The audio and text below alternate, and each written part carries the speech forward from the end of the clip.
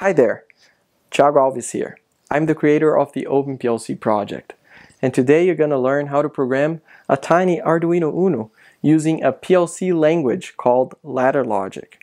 Ladder Logic is a powerful tool and thanks to OpenPLC you can now use that powerful language even on cheap and small microcontrollers like an Arduino board.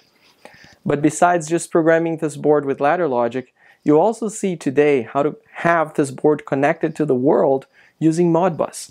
Modbus is a powerful protocol widely used in industry that helps PLC and other devices talk to each other. But before we jump in, I would just like to thank our sponsors that made this video possible. If you enjoyed this kind of content, please consider subscribing to our channel and also joining our sponsors program on Patreon. To program an Arduino board with OpenPLC, it's actually a very simple process. I'll demonstrate this on Windows, but the procedure is the same on any other platform. First step is to just launch OpenPLC editor here. Now that the editor was launched, I will just start a new project. I need to select a folder to store my project. I'll just put it on desktop. Projects on OpenPLC are actually folders, not files. So I need to create a new blank folder here for my project. I'll call it my first project. All right, I open the blank folder and I select it to create my new project. Then I need to create a program for that project. I'll call it Blinky. And then I need to select the language I want to program this on. And I will select LD for ladder diagram. All right, I have everything set for my first project. And by the name of it, you probably already know that we're gonna do the most basic hello world of any project, which is to blink an LED, right? Uh, and this is in fact very simple. There is a tutorial on OpenPLC that demonstrates how to do this here in the blink example. But let's build ours from scratch. So to blink an LED, the first thing I need to do is to create a variable that will be our LED blinking. I can create a variable clicking on this green plus icon here. Let's give it a name. I'll call it uh, blinky LED. And then the type of this variable is going to be boolean because the LED can be either true or false. It, it's either on or off, right? And then after we'll fill out the location point here, but for now let's just leave it blank. Let's start adding our diagram here. So for ladder diagrams, we need to add two basic components, the left and right power rails. I like to start by adding a very long power rail with like 50 pins. And then I just position it on the left here. And then I create another power rail with another 50 pins and I put it on the right. Okay. This is good enough. I just see if they are aligned and they are. Very good. Okay. So now I can start writing my ladder diagram on these two power rails.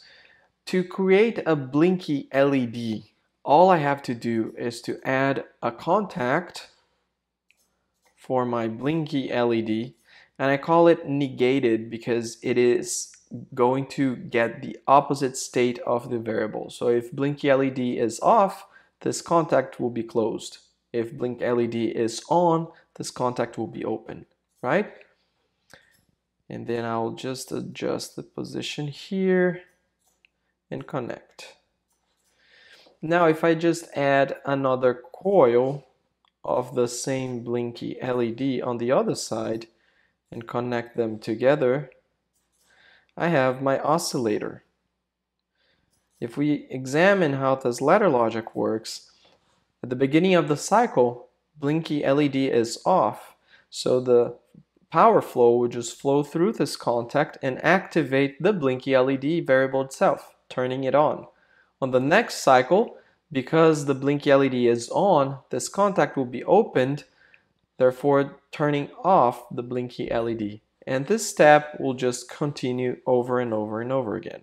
let's just simulate this and see how that works.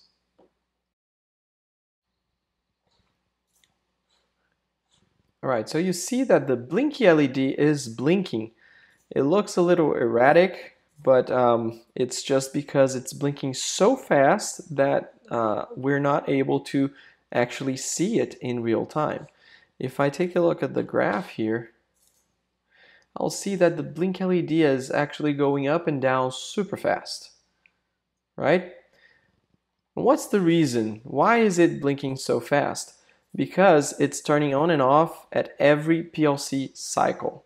If we take a look at the resources here, we see that this PLC cycle is 20 milliseconds. So it's turning on and off every 20 milliseconds. If I increase this interval to something like 500 milliseconds, for example, I'll see that this blink will go a lot slower. Let's see. And then you see that it's actually going every 500 milliseconds. Right? There you go. But that's not exactly what we want to achieve. It's better to keep our PLC cycle very fast because we might be interested in doing some other things pretty quick and add timers to delay the turning on and off of this blinky LED. So let's just erase this line here and add two blocks. First one is going to be a T on block and I'll just make it bigger and I will connect it here.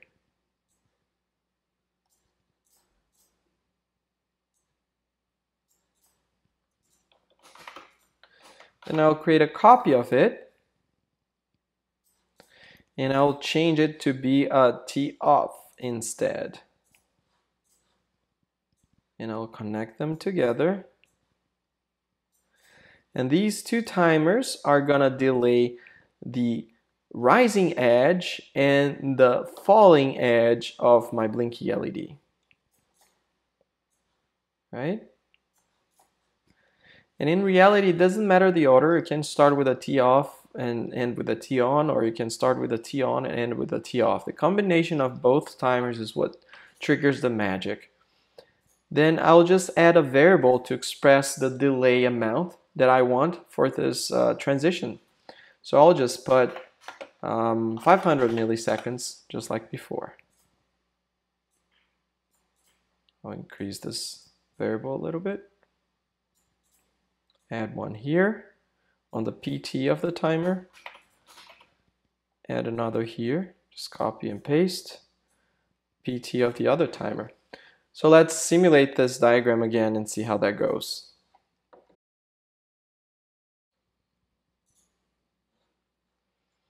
All right, that's a lot better, right?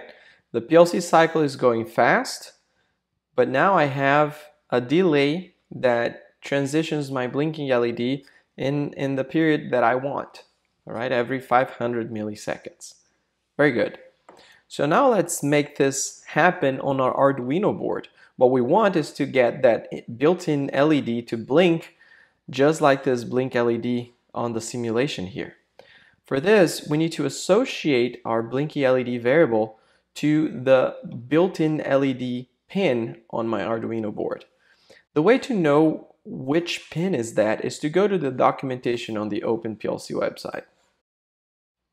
Here in the documentation section, you will find information on the runtime about the physical addressing. Here you have all the boards that OpenPLC officially supports right? So here, here's the Uno and the Leonardo and all the other similar uh, form factors. So for the built-in LED, we know that on the Arduino Uno, that's pin 13, right? Pin 13 is associated with QX0.3. So that's the variable we need to associate uh, for our pin 13 on the Arduino Uno board, okay? So I can go here and type QX0.3. And that's all I have to do to create a blinky LED example for the Arduino board. To burn the OpenPLC runtime on my board, I just need to click on this Arduino icon here. But before we do that, we first need to connect our board to the computer and figure out which COM port number it is associated with. I think that the easiest way to do this is to go to the Start menu on Device Manager, where you can see all the devices that are plugged into your computer. And then you just expand the COM ports here and connect your Arduino to the USB port. When you do that, your Arduino board should appear right here. And I see that on my case, Arduino Uno is connected to COM29. Can safely close this now and then compile the project for the Arduino board. Alright, here I can select which board that I want to burn this firmware to.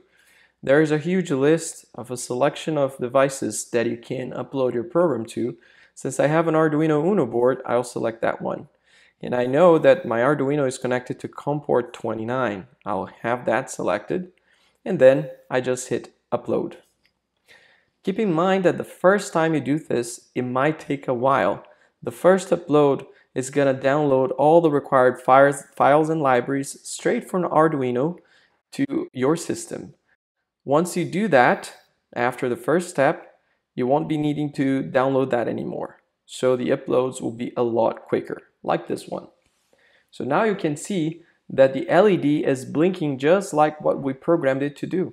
This is a very simple hello world on an Arduino board.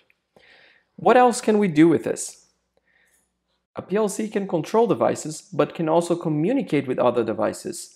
The way it communicates is using SCADA protocols. The most common and popular SCADA protocol ever is called Modbus. I won't go too deep on what Modbus is on this video, but suffice me to say that there are four different data types that Modbus supports, and they are strictly aligned to the PLC data types that OpenPLC supports. So, on PLC side, we usually have digital inputs, digital outputs, analog inputs, and analog outputs.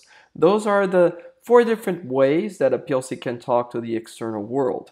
On the Modbus side, you have all these four data types with different names, right? So digital inputs is called input status, digital outputs is called coils, analog inputs is called input registers, and memory slash analog outputs is a holding register.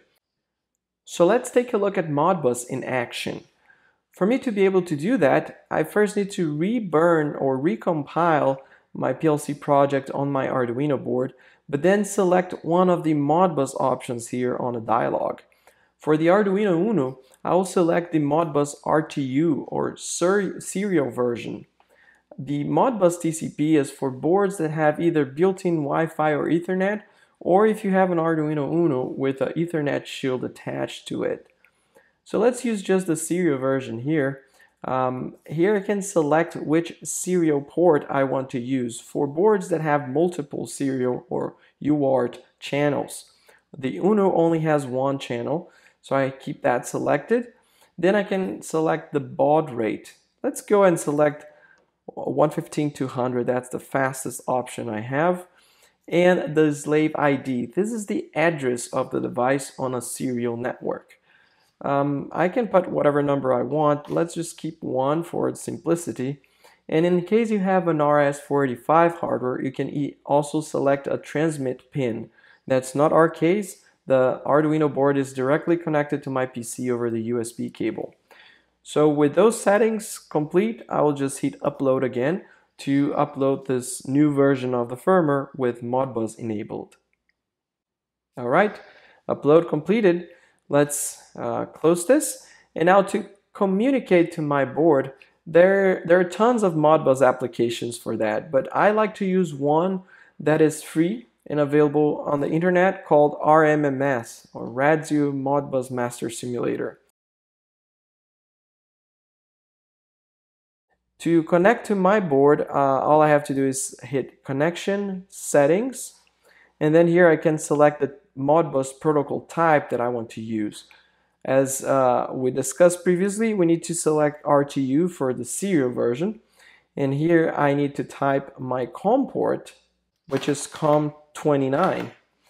And the baud rate that I selected uh, when I was compiling the project, right? 115 to 100. Everything else I can leave uh, as uh, default options and hit OK. Now I'll create a new dataset. And on this dataset, Radzio Modbus will be querying my device to know the status of each input and output, right? As we discussed previously, I have all the four different types of Modbus data types here. I'll just select coil status because I want to take a look at the digital outputs and I will look at the first eight digital outputs, okay? Device ID is 1. Now that I have everything set, I'll click Connection, Connect. And sure enough, I see one of the outputs here is going from 0 to 1 and 1 to 0, right? And if you remember, that is QX 0.3, right? That's the blink LED variable that we uh, wrote here in our program, 0.3. And you sure enough see that on Modbus, that that location is going up and down, right?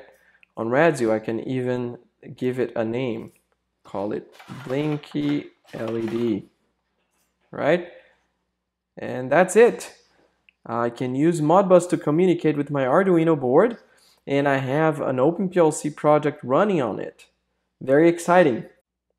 If you like this kind of content, please subscribe to our channel and don't forget to check out Patreon for some sponsoring options. Thank you.